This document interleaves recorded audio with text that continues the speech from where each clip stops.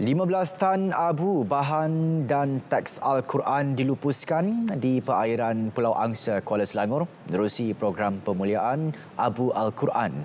Program yang dikenalikan bahagian penguatkuasaan dan kawalan Kementerian Dalam Negeri KDN merupakan sebahagian usaha ke arah sifar Al-Quran tiada perakuan KDN.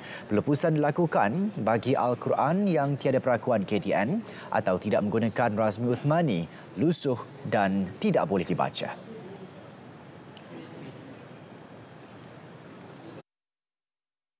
Anda perlu faham apabila berlaku penjualan sebagai kertas lama, bahan lama, maka dia akan sampai kepada keadaan di mana kertas-kertas lama yang mengenai ayat Al-Quran itu akan diproses menjadi bahan lain seperti tisu, tisu tandas, kertas pembalut yang di mana dia sangat menyalahi undang-undang dan menyalahi syariah agama Islam itu sendiri.